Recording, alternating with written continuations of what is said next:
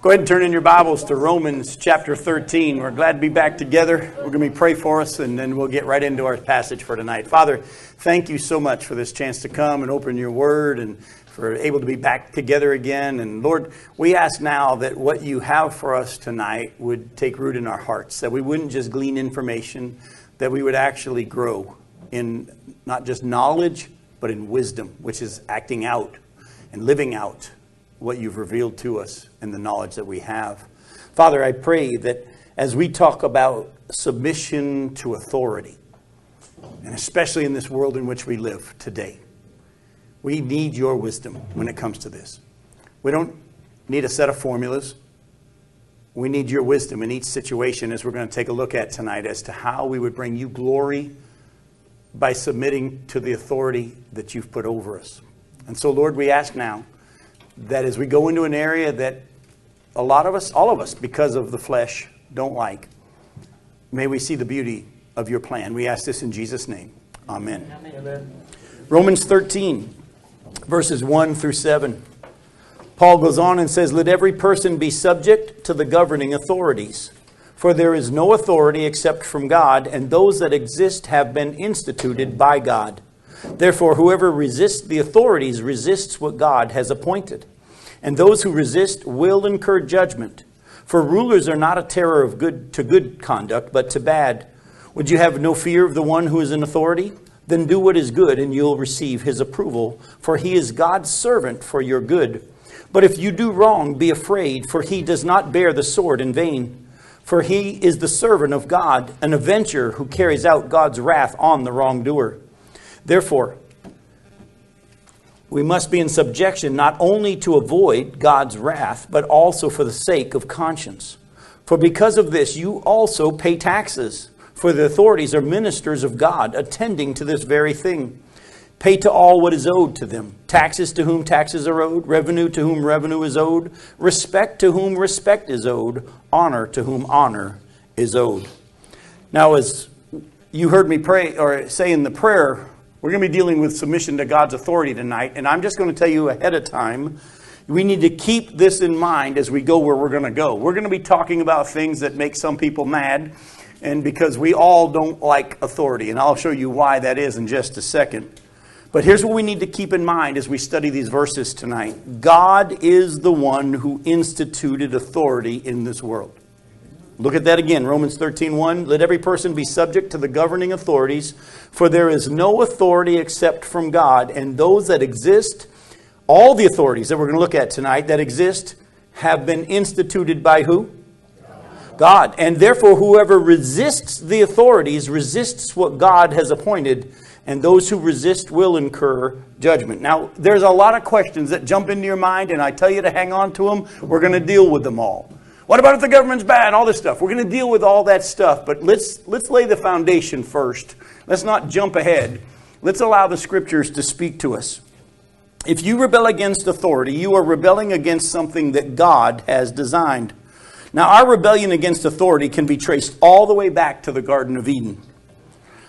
Adam and Eve questioned God's authority, they questioned his word, and they wanted to make their own decisions and be their own authority. If you remember, that's what Satan tempted them with. You get to be like God, determining right and wrong, good and evil. God had said, Look, I, I'm giving you a command. I'm actually giving you freedom to eat from any of the trees in the garden except one. And I command you not to eat from this one tree. And the day you eat of it, you will surely die. Satan comes on and said, Did God really say? And he tempted them and said, The only reason God doesn't want you to eat from that tree is he knows the moment you eat from that tree, you get to be like him, and you get to be God. You get to determine right and wrong. You get to call the shots. By the way, isn't that the exact same sin that got Satan removed from his position that he had in heaven? He wanted to be God. And folks, let me just say this to you. Even though we're born again, even though we've been saved, even though we've given Jesus our life, we are still in this flesh. And just like Paul said, the things I want to do, I don't. The things I don't want to do, I do. Who will save me? Every one of us needs to acknowledge in your flesh, even though you're saved, you still want to call the shots. You still want to determine how things are done. You want to be the final authority in your life, and we have to be willing to lay that down. That's why daily, as we saw in chapter 12 of Romans, we're to offer our flesh as a living sacrifice. And when we do so, and we're not conformed to the pattern of this world, which is living for self, we'll know what His will is the will of our authority. So, go to 1 John chapter 5, and I want you to see that not only do you have this problem in your flesh. We have a world that says you get to live that way. 1 John chapter 5, look at verses 15 through 17. 1 John 5, verses 15 through 17. This is what it says here.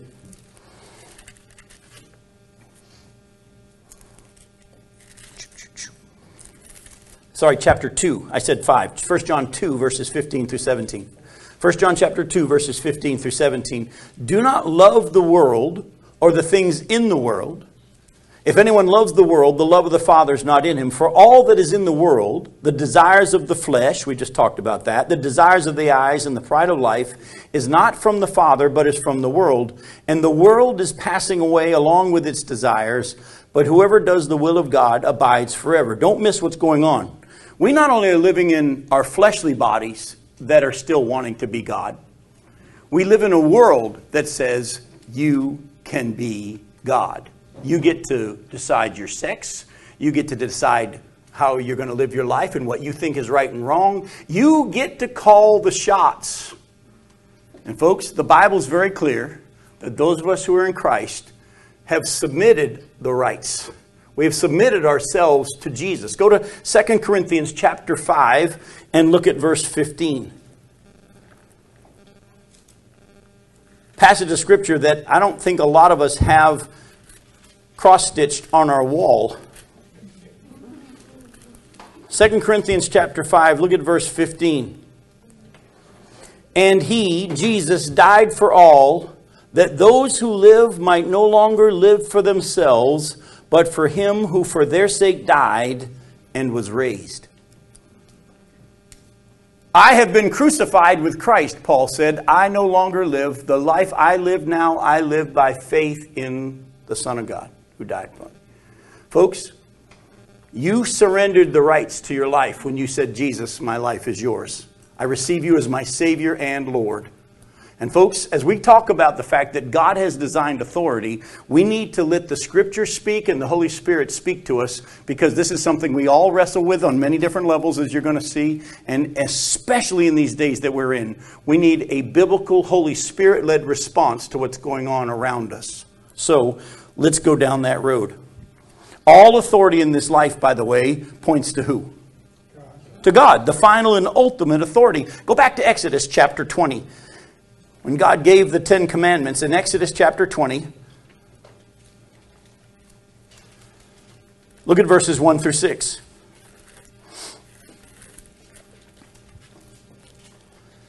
says, And God spoke all these words, saying, I am the Lord your God, who brought you out of the land of Egypt, out of the house of slavery. You shall have no other gods before me, and that includes you. You shall not make for yourself a carved image or any likeness of anything that is in heaven above, or that is in the earth beneath, or that is in the water under the earth. You shall not bow down to them or serve them, for I, the Lord your God, am a jealous God, visiting the iniquity of the fathers on the children to the third and the fourth generations of those who hate me, but showing steadfast love to thousands of those who love me and keep my commandments. God said at the very beginning, when He gave them the Ten Commandments, He said, You'll have no other gods. In other words, I am the only God. I am the final authority. All authority that is in this world, and we're going to talk about some of those authorities, all point to the ultimate authority, the one who's designed authority, the one who created everything and has put things in order. And even when he created the angels, there's different levels and ranks of authority in the angels. If you've ever studied the angels, there's different levels and ranks of authority. And who determined that? God did. And all through Scripture, the Bible says there's different levels of responsibility and roles that we've all been given here on this earth. And who determines whether we're male or female, who determines what our roles are going to be? Who determines how we're to live our lives? God is the one who's done that. And we didn't submit ourselves to that. Yet, even in the church today, we have plenty of preachers that'll tell you you can be anything you want to be. You can dream anything you want to do. But the Bible teaches that actually John the Baptist said, He must increase, I must decrease. Jesus himself took the role of a servant and submitted himself to the Father, even though that submission to the Father meant death on a cross. Are we going to be willing to live the life that God has designed for us? Oh, you'll find his yoke is easy and his burden is light if you submit yourself to what he's got designed for you. But first and foremost, we need to renew our minds to the fact that there is authority in this world, and God is the ultimate authority who made all different levels of authority, and they all point to him. And rebellion against any type of authority is rebellion against God. Now, we're going to talk about that in great detail tonight. Do you know that the Bible says there's authority in our families? Right here in Exodus 20, look at verse 12.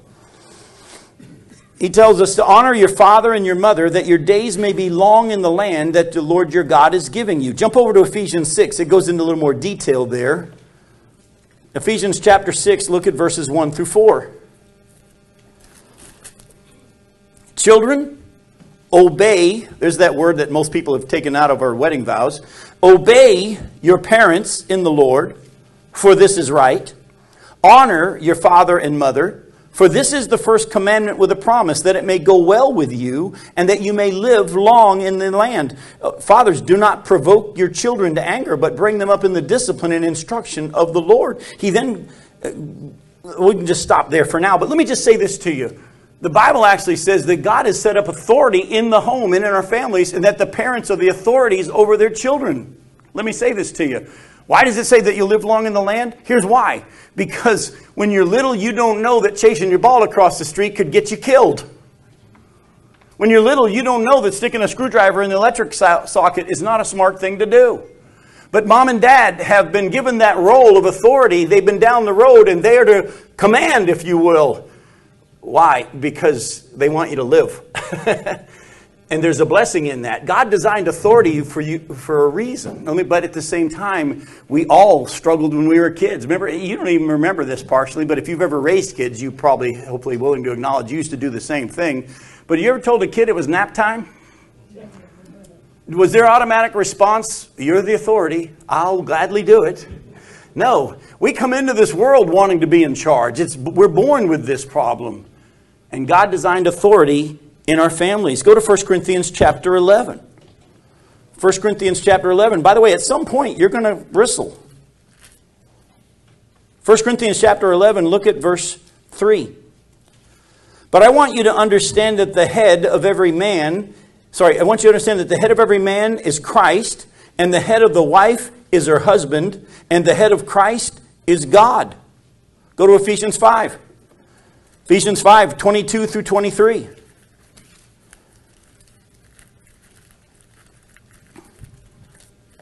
Ephesians 5 22 through 23. Wives, submit to your own husbands as to the Lord, for the husband is the head of the wife, even as Christ is the head of the church, his body, and is himself its Savior. Now, as the church submits to Christ, so also wives should submit in everything to their husbands. By the way, let me just say this to you tonight. We're not going to take the time to break these things all down. My teaching is not on submission, wives submitting to their husbands, because there's a depth of teaching to that. And let me just say this quickly, though, that this word submit in the Greek is the Greek word hypotasso, and it means a voluntary submission due to respect for God's authority and God's design. So any husband that tries to pull out the God's word says you must submit, that's not what the word says. The God's word says that you must choose on your own. I can't force it. And I should not force it. It's a choice that the wife makes. It's a choice that the children make. That's why fathers were not to exasperate their children and be jerks as parents with the authority they've been given. In 1 Peter chapter 5, and we're going to talk about that in just a little bit, the Bible actually talks about in the authority that pastors have in the church not to lord their authority over those entrusted to them. But folks, the Bible's clear. There's authority in the home.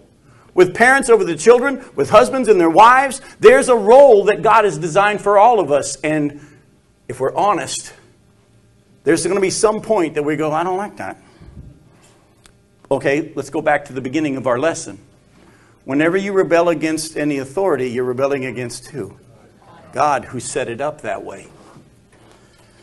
There's authority in the church. Go to 1 Thessalonians chapter 5. Jim, can I say something? Go for it. Go ahead. So, um, when you were referencing early on, um, The verses that are just immediately before that Mm-hmm.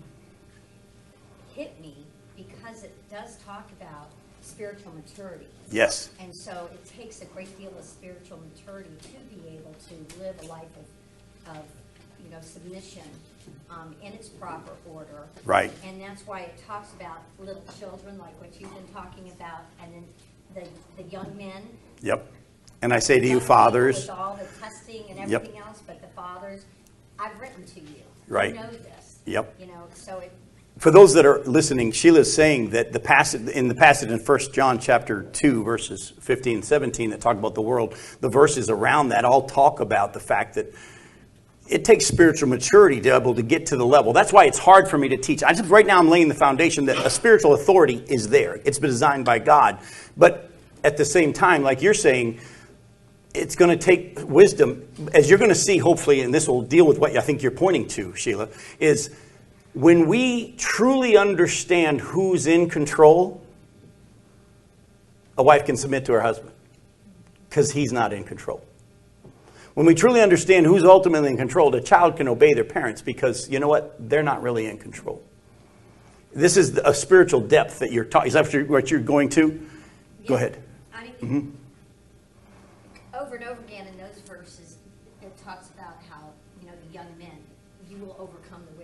You know, we have to be able to learn the word, know the word, apply it to our hearts, understand it in its proper, you know, context and everything, so that we can live a life of submission. I can't do it on my own. Exactly, and we're going to head that. And we're tonight. We're going to get there because I'm going to show you some things that you might not have ever seen in the Bible when it comes to this type of submission. So let's let's chase it some more. 1 Thessalonians five verses 12 through 13. Listen to what it says. It was, we ask you, brothers, to respect those who labor among you and are what's the next words? Over you in the Lord and admonish you and to esteem them very highly in love because of their work. Be at peace among yourselves. Did you catch that? In the church, God's designed authority in the church, and we don't like that. We want a church where we all have an equal vote. But actually, I was teaching on this in a church in New Orleans years and years ago, and how God designed elders and leaders in the church to be in charge spiritually. And that's God's design. I think the Bible teaches that there should be input, and the family and the church members should all have equal input, but the actual decision is put in the hands of those who've been given this authority. I finished preaching this at a church. I was out in the foyer at church this, this church in New Orleans and just saying hi to people afterwards, and a man walks up to me and he goes, Respect is earned. And I said, Hang on for a second, you need to sit down. He goes, Why is that? I go, Because you didn't hear the sermon and I got to repreach it. this passage doesn't say respect them once they earn it. You esteem them in high regard because of the role that God has given them. You're respecting them not because they're respectable, but because God has given them that role. You're respecting God by respecting them. Do you understand? And that's where we're going to be head- heading in a little bit. Go to Hebrews 13, verse 17. Hebrews 13, verse 17. Obey your leaders. There's that word again. Obey your leaders and submit to them, for they are keeping watch over your souls as those who will have to give an account. Let them do this with joy and not with groaning, for that would be of no advantage to you. This sounds almost like what we just read about in Romans 13, isn't it? That if we submit to the governing authorities, that'll be a good thing for us. If we rebel against them, it'll be a bad thing. And it's the same thing in the church. Go to 1 Peter 5. I referenced that one earlier. By the way, I can see on all your faces you're really enjoying this lesson on authority. First, Thess- First Peter chapter 5. First Peter 5. Look at verses 1 through 5. Paul says, So I exhort the elders among you, as a fellow elder and a witness of the sufferings of Christ, as well as a partaker in the glory that's going to be revealed, shepherd the flock of God that is among you, exercising oversight, not under compulsion, but willingly, as God would have you, not for shameful gain but eagerly, not domineering over those in your charge, but being examples to the flock. And when the chief shepherd appears, you'll receive the unfading crown of glory. Likewise, you who are younger, be subject to the elders. Clothe yourselves, all of you, with humility toward one another, for God opposes the proud, but gives grace to the humble. So here we've seen God has designed authority in our homes, God's designed authority in our churches. He's also designed authority in our governments, in our city governments, our county, our state, national governments. Go to 1 Peter chapter 2. 1 Peter chapter 2, look at verses 13 and 17. Or through 17, 13 through 17. Be subject for the Lord's sake to every human institution, whether it be to the emperor as supreme, and remember who the emperor was at this time and what they were doing to Christians, or to governors as sent by him to punish those who do evil and to praise those who do good. For this is the will of God, that by doing good you should put to silence the ignorance of foolish people. Live as people who are free, not using your freedom as a covering up for evil, but living as servants of God. Honor everyone. Love the brotherhood. Fear God. Honor who? The emperor. But the emperor is a jerk. Yeah? But we're submitting to whose authority by honoring the emperor? God's. Let me just say something to you real quick. It grieves me that Christians would have Let's Go Brandon on their car. Because you and I know, you know what it's really saying. You know where that came from. And as Christians, that should never be our attitude toward those in authority over us. The Bible says we're to be praying for those in authority over us, not saying F them. So, folks, I just pray that the Spirit of God would be allowed to speak to us because God wants to use us as salt and light in this world. And 2 Corinthians chapter 10, verses 3 and 4 says, We don't fight with the same weapons the world fights with. The weapons we have have the power to demolish strongholds and we as Christians need to submit ourselves to God's authority and submit ourselves to the governing authorities. But Jim, what about? We'll answer that question. Don't go too far yet. Listen to me. The scripture has so clearly said already, have you not seen that we are to submit ourselves to whatever authorities over us because of God's design? Let's keep going. Go to Romans 13 1 again. Let every person be subject to the governing authorities, for there is no authority except from God, and those that exist have been instituted by God. Titus chapter 3, verses 1 and 2.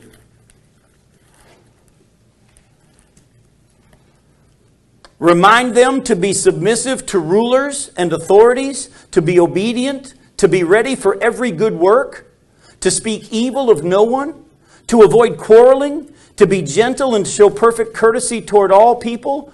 For we ourselves were once foolish, disobedient, led astray, slaves to various passions and pleasures, passing our days in malice and envy, hated by others and hating one another. Well, it goes on, but, but he saved us, didn't he? Go back to verses 1 and 2. Remind them to be submissive to who? Rulers and authorities. To be obedient, to be ready for every good work, and to speak evil of no one. All right, Jim, I can't wait any longer. What if the government's evil? You know, the Bible speaks to this too. And I want to spend the time we have left tonight showing you from the scriptures what the Bible says it should be our response. Now, this goes back to what Sheila was talking about. This is where spiritual maturity and wisdom comes in. I'm not going to give you a formula today as to when you can rebel and when you can't, but the Bible does tell us what we're to be looking for and how we're to respond. But again, we are ultimately submitting to whose authority? God's. That's very important.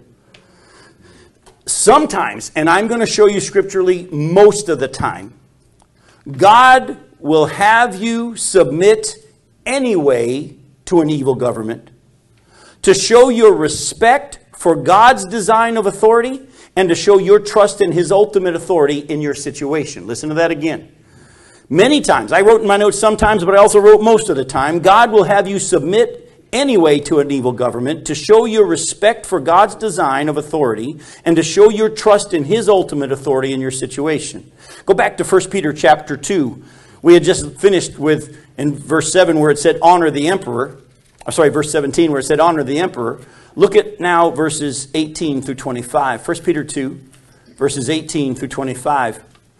Servants be subject to your masters with all respect, not only to the good ones, and the gentle ones, but also to the unjust. For this is a gracious thing when mindful of God one endures sorrows while suffering unjustly.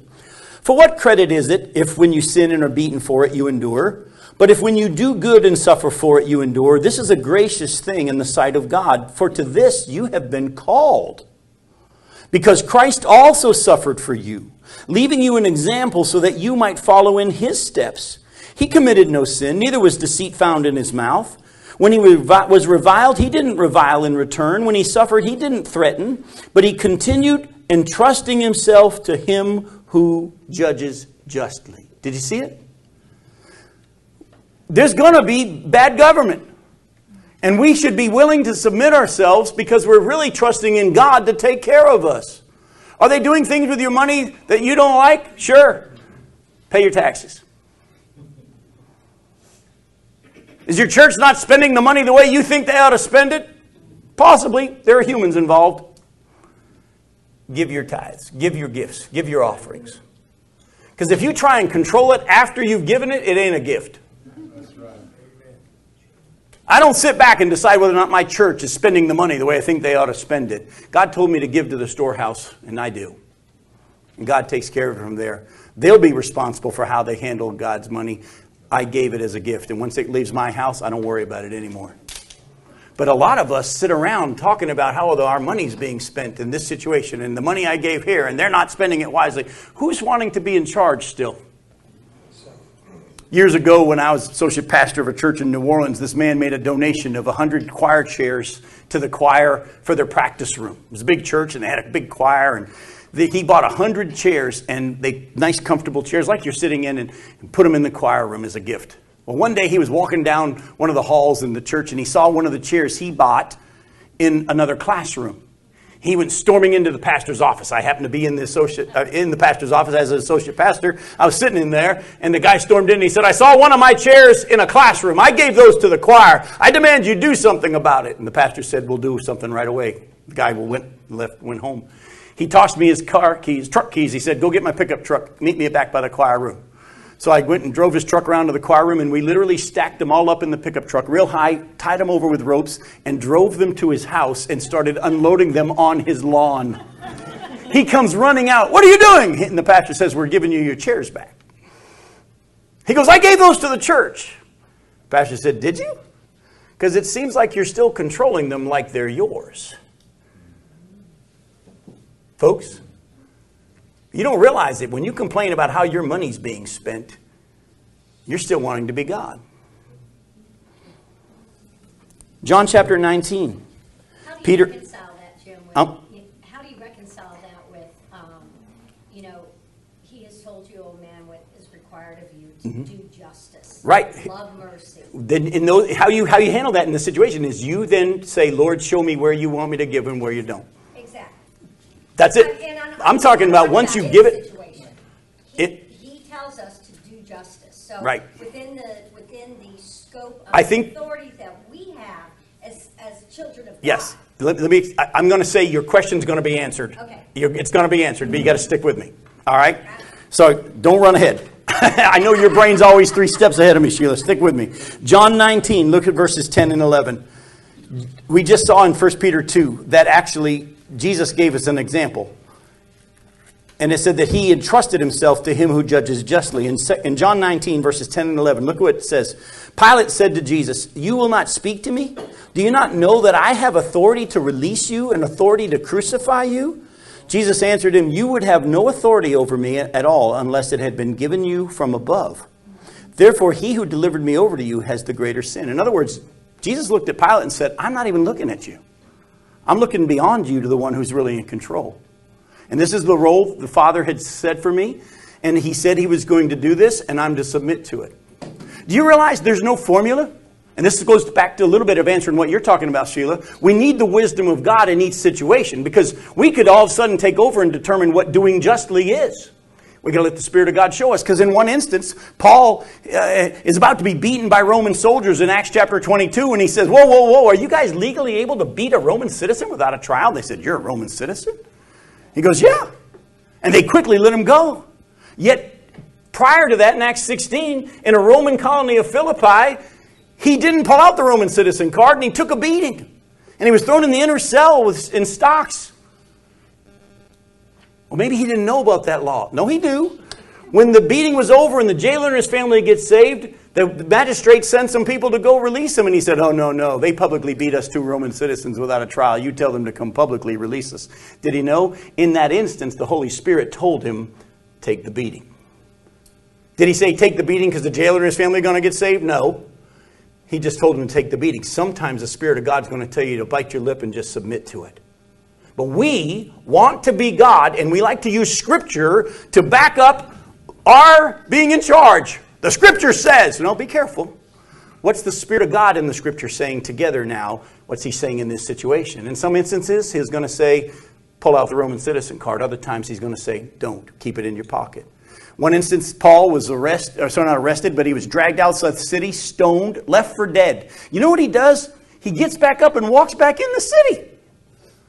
Yet in another instance, he finds out they're going to try to kill him, and he sneaks in a basket out a window and out the wall in the middle of the night. So, which is it? Exactly.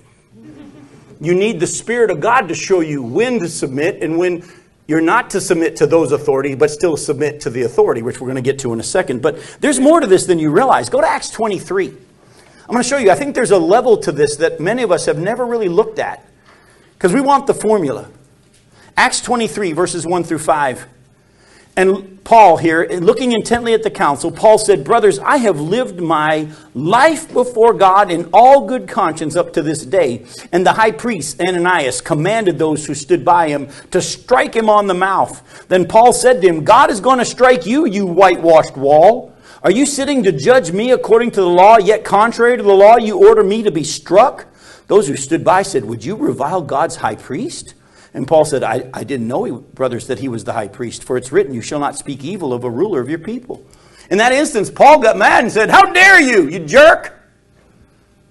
And they said, Are you going to talk like that to the high priest? And Paul quickly submitted himself and said, I didn't know that he was the high priest. I wouldn't have said that if I had known. I wouldn't have reacted that way. Go with me to 2 Kings chapter 5. I want you to put yourself I don't know, but he just said, I didn't know. You remember, and back at the time of Jesus' crucifixion, there were a couple guys that were kind of, one was, and it was father in law. He might, through all the stuff he'd gone through, he might not have known who was in charge at that time. If he said, if the scripture says he said he didn't know, he didn't know. Go to 2 Kings chapter 5. I want you to put yourself in the situation of this little girl. Remember, she was taken captive when this enemy nation came in and captured her and kidnapped her. 2 Kings 5, verses 1 through 3 says Naaman, commander of the army of the king of Syria, was a great man with his master and in high favor, because by him the Lord had given victory to Syria. He was a mighty man of valor, but he was a leper. Now, the Syrians, on one of their raids, had carried off a little girl from the land of Israel, and she worked in the service of Naaman's wife. She said to her mistress, Would that my Lord would die is that what she says? No. Would that my Lord were, the pro- were with the prophet who's in Samaria. He would cure him of his leprosy. Isn't that interesting? She had been taken captive by an enemy nation and was served to serve as a slave. And when her master got leprosy, she didn't sit there and say, Good. She actually wanted him to know God. And she submitted herself in the role that had been given her and she was actually used of God that this man would become a believer. And she was a prisoner. Go to Daniel chapter 4.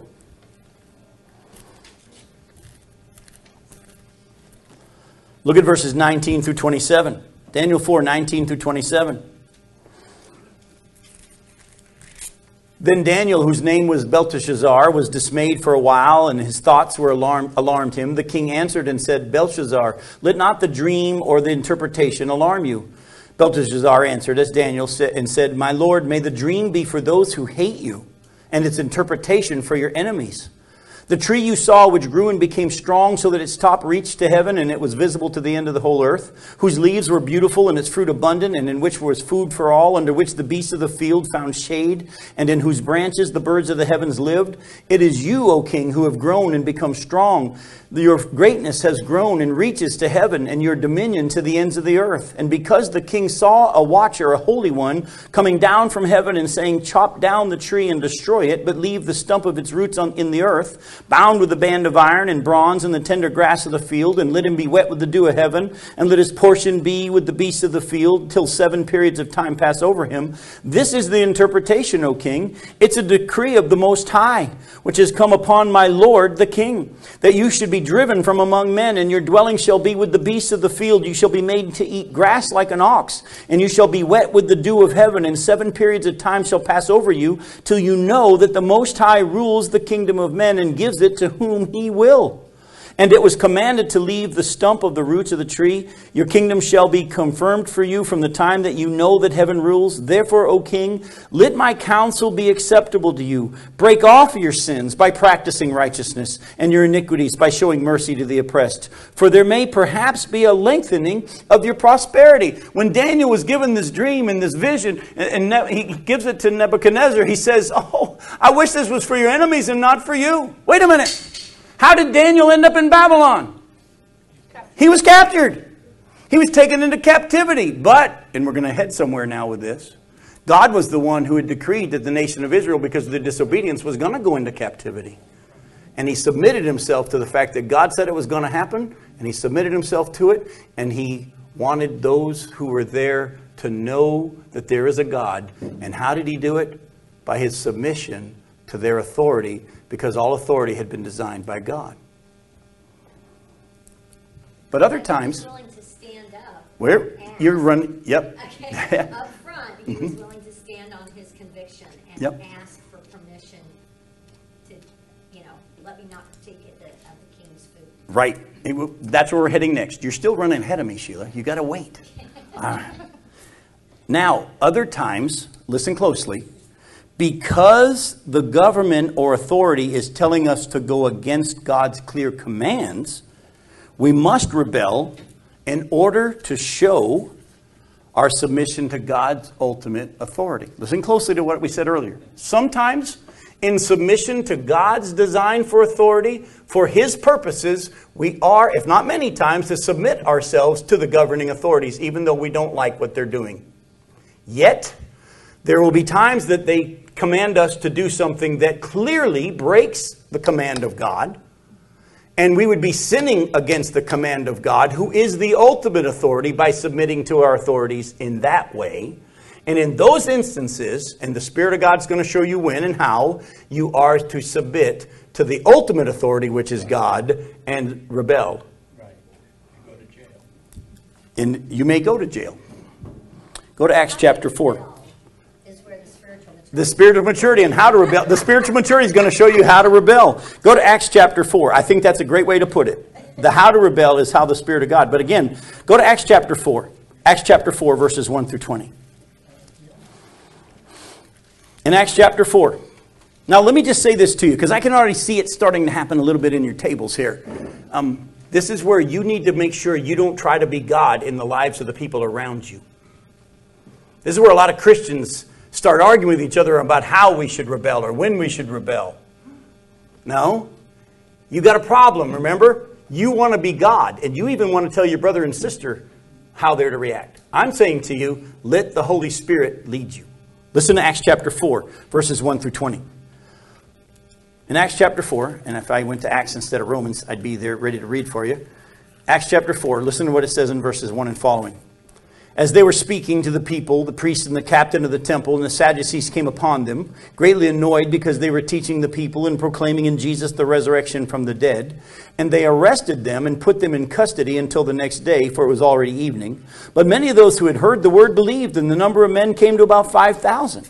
On the next day, their rulers and elders and scribes gathered together in Jerusalem with Annas, the high priest, and Caiaphas, and John, and Alexander, and all who were of the high priestly family. And when they had set them in the midst, they inquired, By what power and by what name did you do this?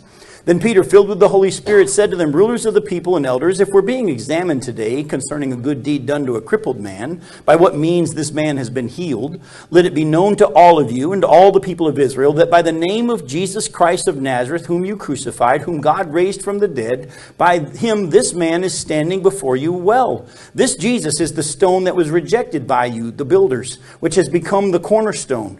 And there is salvation in no one else, for there is no other name under heaven given among men by which we must be saved. Now, when they saw the boldness of Peter and John and perceived that they were uneducated, common men, they were astonished and they recognized that they had been with, they had been with Jesus. But seeing the man who was healed standing before them or beside them, they had nothing to say in opposition. But when they had commanded them to leave the council, they conferred with one another, saying, What shall we do with these men? For that a notable sign has been performed through them is evident to all the inhabitants of Jerusalem, and we can't deny it. But in order that it may spread no further among the people, let us warn them to speak no more to anyone in this name. So they called them and charged them not to speak or to teach at all in the name of Jesus. But Peter and John answered them, Whether it's right in the sight of God to listen to you rather than to God, you must judge. For we cannot but speak of what we have seen and heard. In this instance, they were told, Don't speak anymore about Jesus. They said, Ah, actually, that's somewhere where we're going to submit to the only authority. We can't not preach in the name of Jesus. And they rebelled.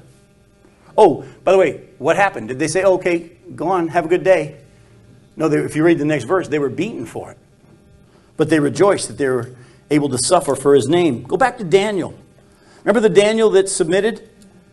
He and his buddies who were taken captive didn't always submit.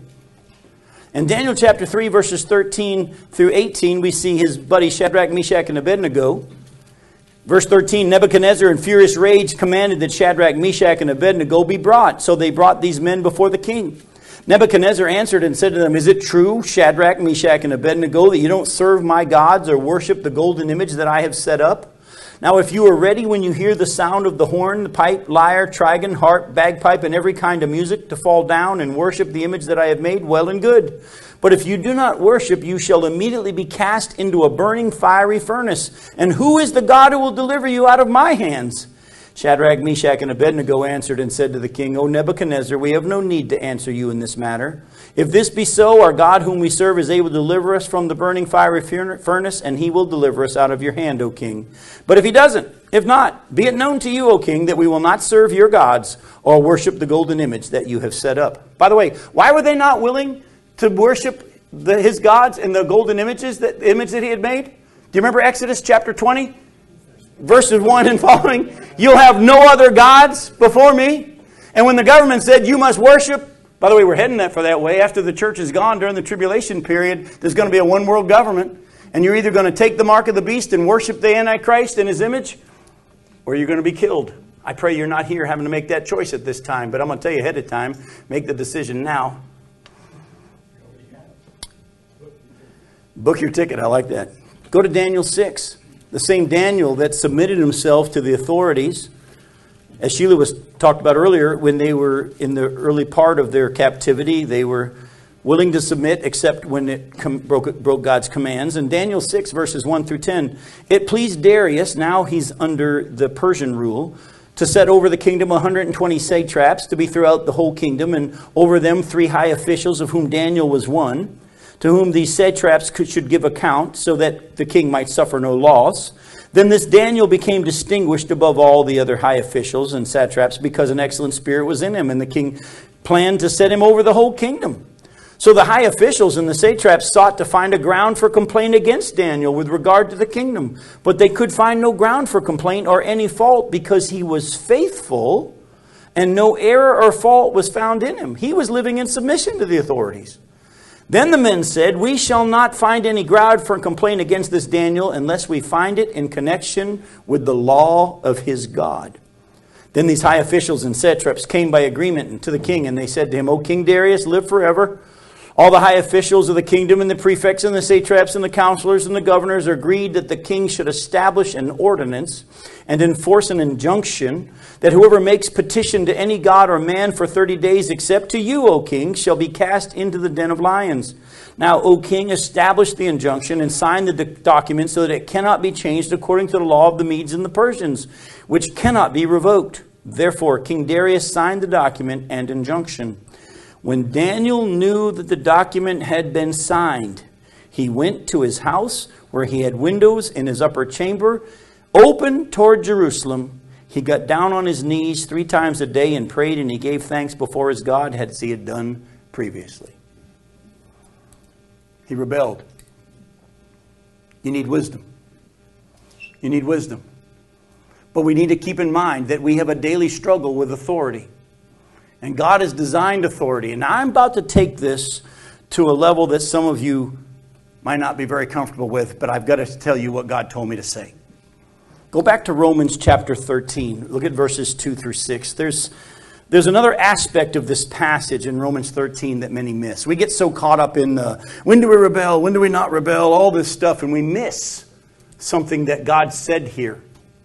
In Romans 13, verses 2 through 6, Listen closely. Therefore, whoever resists authorities resists what God has appointed, and those who resist will incur judgment, for rulers are not a terror to good conduct, but to bad.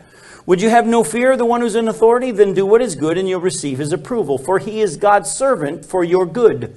But if you do wrong, be afraid, for he does not bear the sword in vain, for he is the servant of God. There it is again, twice. He's God's servant an avenger who carries out the God's wrath on the wrongdoer. Therefore, one must be in subjection not only to avoid God's wrath, but also for the sake of conscience. For this reason, you also pay taxes, for the authorities are ministers of God, attending to this very thing. Pay to all what is owed to them taxes to whom taxes are owed, revenue to whom revenue is owed, respect to whom respect is owed, and honor to whom honor is owed. Through this passage, Paul says over and over that governments, listen, Governments are God's servants, his ministers to execute God's judgment sometimes. Does that mean God's only going to use good governments to execute his judgment? No, read your Bibles.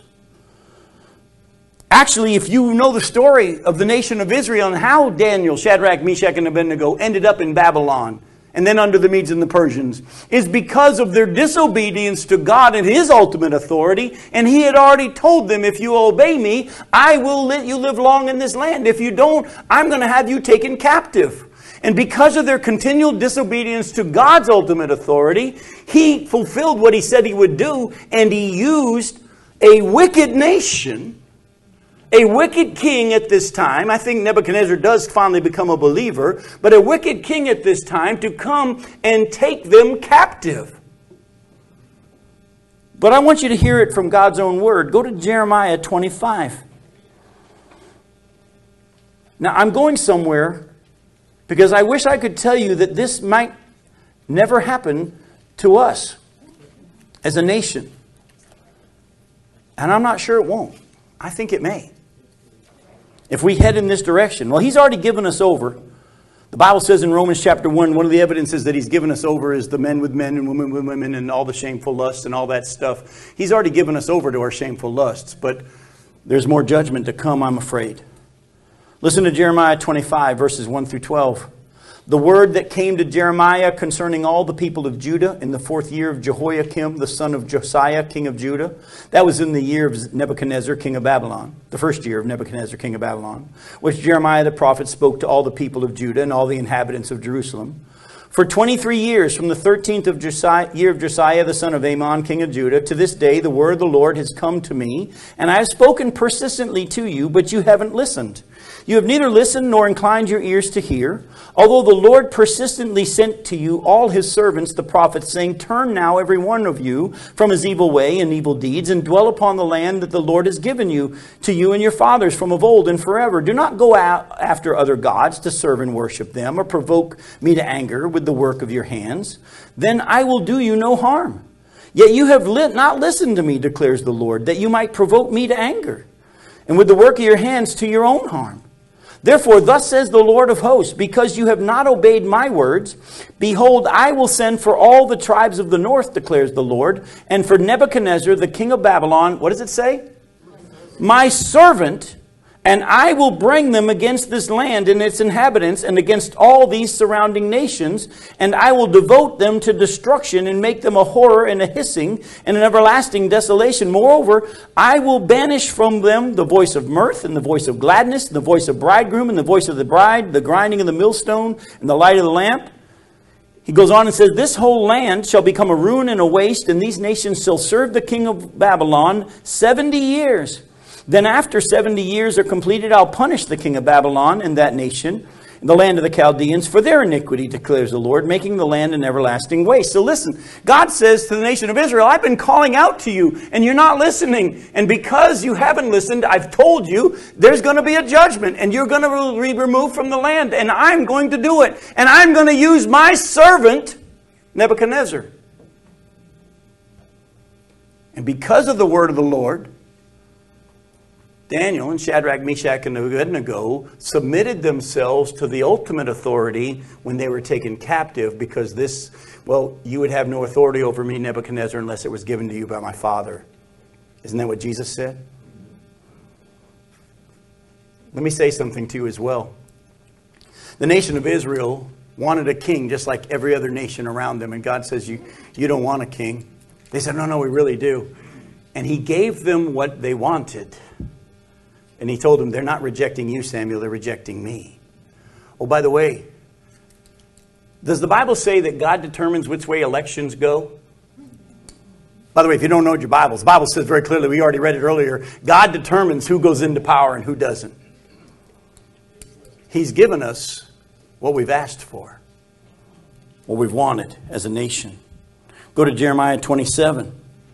Look at verses 1 through 7. In the beginning of the reign of Zedekiah, the son of Josiah, king of Judah, this word came to Jeremiah from the Lord. Thus says the, thus the Lord said to me, Make yourselves satraps, uh, sorry, not satraps, straps and yoke bars, and put them on your neck. Send word to the king of Edom, the king of Moab, the king of the sons of Ammon, the king of Tyre, and the king of Sidon by the hand of the envoys who have come to Jerusalem to Zedekiah, king of Judah. Give them this charge for their masters. Thus says the Lord of hosts, the God of Israel, this is what you shall say to your masters. It is I, by my great power and my outstretched arm, have, have made the earth, who have made, who made the earth, with the men and the animals that are on the earth, and I give it to whomever it seems right to me. Now I have given all these lands into the hand of Nebuchadnezzar, the king of Babylon, my servant. And I have given him also the beasts of the field to serve him.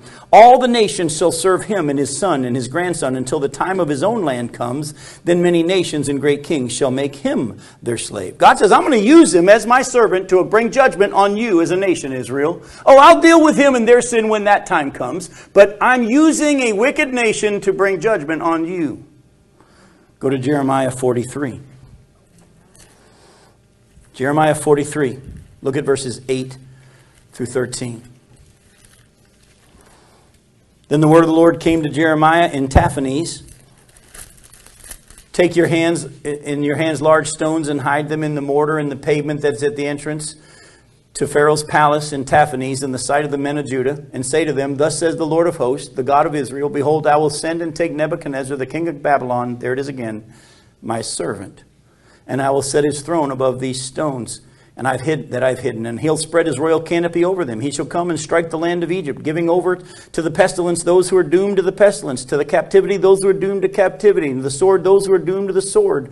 I shall kindle a fire in the temples of the gods of Egypt, and he shall burn them and carry them away captive. And he shall clean the land of Egypt as a shepherd cleans his cloak of vermin, and he shall go away from there in peace. He shall break the obelisks of the Heliopolis, which is in the land of Egypt, and the temples of the gods of Egypt he shall burn with fire. So again, God says, Nebuchadnezzar is my servant. Let me ask you a question. When God was speaking through Jeremiah about Nebuchadnezzar, was Nebuchadnezzar a believer? No, no Nebuchadnezzar was a proud, egotistical guy that thought he was the king and he was the God of gods.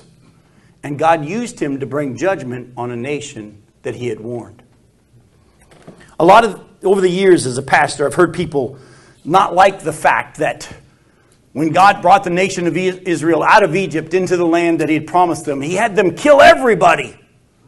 Why would the God that loves people kill everybody? Well, if we read our Bibles, you'll know that back in Genesis, God comes and speaks to, in chapter 15, you can go look at it later on for the sake of time, we need to wrap up. But in Genesis 15, verses 12 through 16, God comes and speaks to Abraham. He actually walks between the pieces to prove that what he says is going to happen. And he says to him, Know this for certain that your descendants will go into a land and be in slavery for 400 years. But after that time, they will come out with great wealth. But the sin of the Amorites has not reached its full measure. When God said it's time, and the Amorites had had opportunity to respond to the light that God had been revealing to them of who He was, and by the way, I promise you, the Ammonites, Ammonites and Amorites knew who God was because they even said when the Israelites show up, We've heard of your God. But let me say this to you God used the nation of Israel as a judgment against those nations. But then He judged the nation of Israel for their wickedness with another nation. Governments are not only instituted by God, He uses them whenever He chooses and whichever ones He chooses to bring judgment on peoples when He determines that time, their time of opportunity is done. You've heard me say this to you for years. I've studied prophecy intently. I don't see the United States mentioned in the last days. And if we were to just look at what's going on in our nation, folks, as one person said years ago, if God weren't, doesn't judge America, he'll have to apologize to Sodom and Gomorrah. Let me say this to you. What then should be our response in these days? We need to submit ourselves to the ultimate authority and sometimes that may mean submitting to the authorities that are over us for the sake of God's authority. And you're going to need to have wisdom to know when His Spirit shows you when and how to do that. And I'm going to tell you start practicing it just in your homes, start practicing it in your churches, and let God show you how to trust them and trust Him, and trust your leaders in, in the church and trust Him. And then when it comes time in the government, you trust God as you submit. But there will be times when they will clearly say, You must do X. And that X clearly is against the Word of God. In those instances, the Spirit of God will give you the understanding and the boldness to rebel. Be careful like I said at the beginning, we have a problem. We all still want to be God. I actually had a conversation with the Lord two weeks ago where I was talking to him about how he provides for our ministry, and I trust him, but I don't.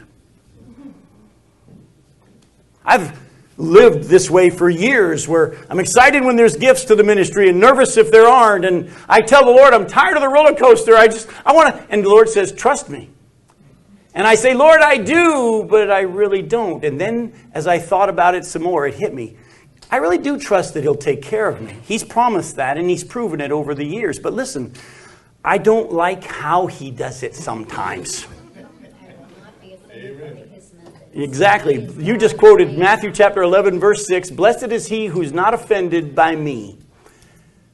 You know, God said He'll supply all our needs, but He doesn't say He won't make you a little bit nervous because he's testing our faith. And then it hit me God, I believe you'll take care of me, but I want you to take care of me the way I want you to take care of me. I call you Lord, but I want to be in charge. By the way, we all got that. Martha had it. Lord, tell my sister to help me. She calls him Lord and then bosses him around. Folks, let's not worry about the big picture just yet. God's got that under control. Amen. Let's submit ourselves in our homes because of God's authority. It's a voluntary submission. And let's submit ourselves in our churches because of God's authority. And He'll show us how that's going to play out in our government in the days to come. I love you. We'll see you next week. Thanks for coming.